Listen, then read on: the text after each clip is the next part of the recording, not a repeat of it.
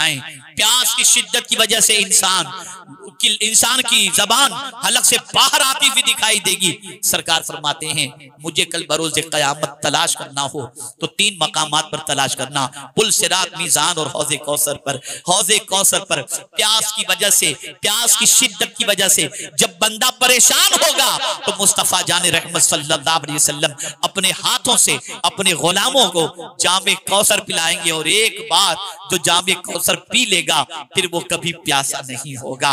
अब मैं आपसे पूछना चाहता हूँ इतनी मुसीबतों में काम आने वाले जा, वाली जात के साथ हमें सबसे ज़्यादा मोहब्बत करनी चाहिए या नहीं करनी चाहिए?